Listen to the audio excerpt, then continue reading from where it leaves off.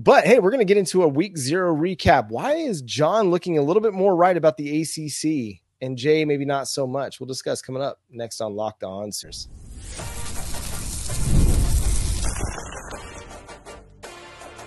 You are Locked On Sooners, your daily podcast on the Oklahoma Sooners. Part of the Locked On Podcast Network, your team every day.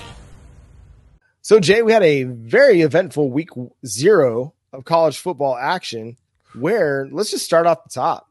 The first game of the season, the Florida State Seminoles, fresh off of a undefeated regular season and ACC championship win, left out of the college football playoff because Jordan Travis got hurt, and then had this revenge tour in mind, drops their opener to Georgia Tech 24 to 21 in Dublin, Ireland. Yeah, I'm a little upset they embarrassed me in public like that. Um, I, I I take offense to the fact that they let Georgia Tech push them around in the trenches like that. Hey man, shout, out to their head coach. Was it, is it Brent Key? Key is I got shout out to him, Coach Coach Key. You killed it, right? That team was prepared, and they gave Florida State hell the entire time. It, it, was literally trench work. They were pushing them around. They had the holes open, and it was fascinating because before the game, everybody was hyping up the defensive line at Florida State. It just sounds so familiar with others that we've been hearing about, hyping up everybody around them and then downgrading the other ones on the opposite team. I digress. Everything that they were saying about Florida State was exactly what Georgia Tech was. Georgia Tech they came prepared. It just looked like they were ready to play. And even with their type of offense they were running, I mean, Haynes King out there was showing out. DJ Uiagalelei struggled. He kind of looked like himself at Clemson, right? So it's kind of looking like it was a flip flop for him right back into what he was there. He had like four passes past 10 yards the entire game.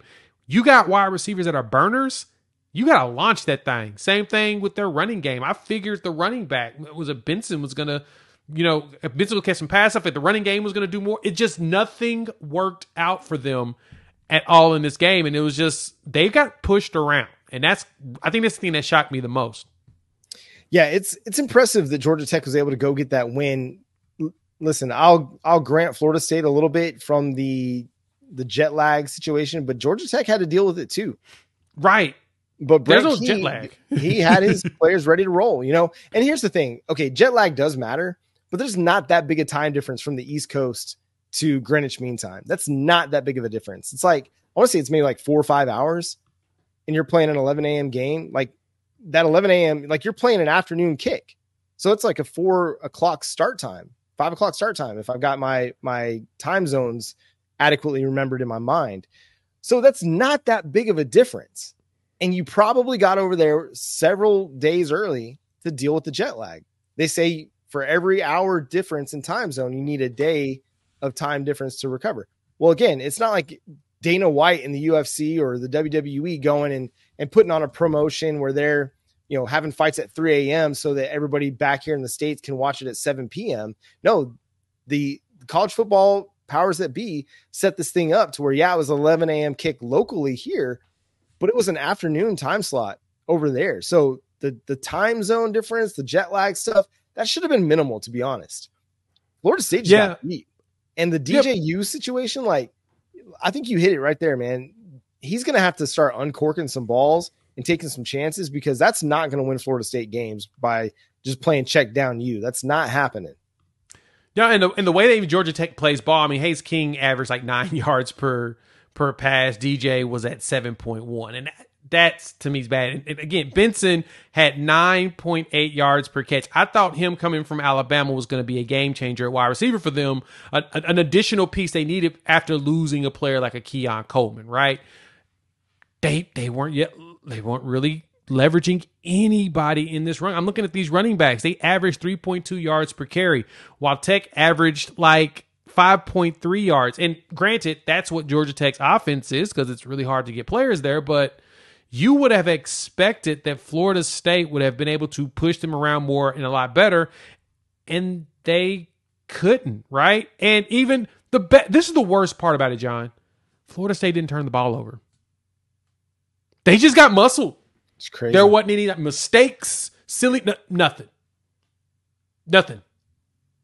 That's it. They just they just got beat up.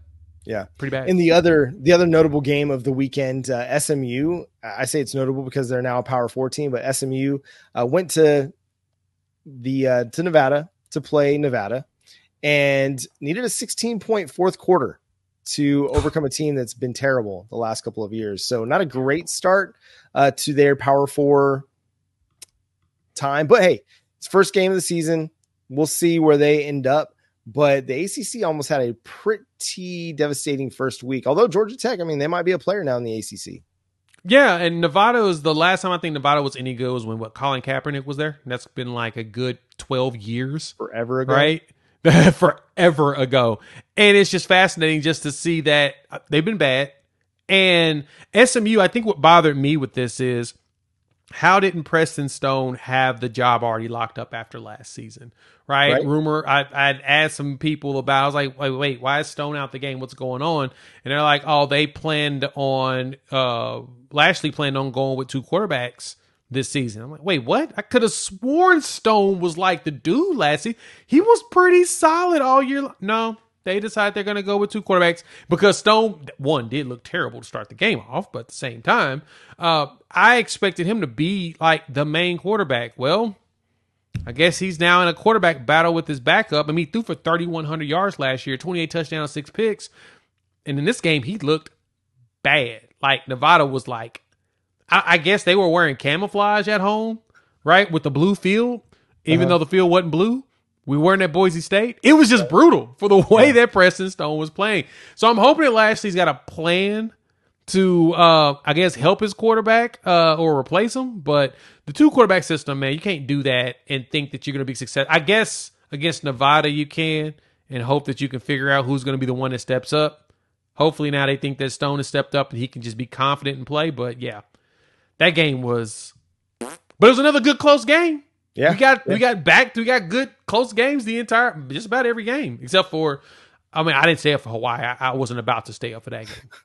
yeah, nobody's nobody's going to be watching Hawaii football uh, from the Central Time Zone. Uh, the other notable note: uh, this one's not on the football field. This is on the recruiting trail. 2025 five star uh, athlete, safety, wide receiver, outside linebacker, whatever you want to call him. Jonah Williams does Jiu-Jitsu follow master. through with the uh, Steve Wiltfong Fong bomb and commits to Texas apparently that's the the one prediction that he was fine with being out there. Um, but hey, point. Texas gets a great player, a dude that is just really, really, really good at football. If this prediction or the commitment sticks, uh, they're going to get a good one. We'll see if it sticks. Yeah, I know he's an athlete. Like he he's he's really good. And I went back and watched his tape just to kind of remind myself he he can play all over the place. Now I know that there was a quote that came out from someone in Texas. Uh, it was a journalist. I can't think of the name off the top of my head, but he quoted him and basically Jonah said that oh I'm going to be able to start there really quickly. They don't have much depth at safety. I'm just like, wow. I know that that was the uh, accusation about you know why Fasusi picked Oklahoma, which it was because he wanted to be by Bill Bedenbaugh. But it sounded like Jonah just said it out the, the, the quiet part out loud and said, "No, I'm going to go in there and start because they ain't got nobody there." Which is not not the most uh, gracious thing you want to say as a incoming freshman. That's not going to. I mean, who knows? Maybe uh, those guys will love it. The coaches will love it because it's going to push everybody else. I don't know, but it, it certainly uh, would rub me the wrong way if I was on that depth chart at safety. So we'll see, man. It, it's it's going to be a fascinating one. The recruitment is going to be ongoing. Probably Oklahoma is not in it. I would imagine at this point.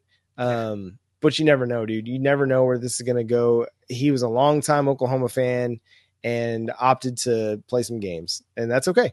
He's got his recruitment; he's allowed to do that. Uh, but Oklahoma is still pretty well set at safety now.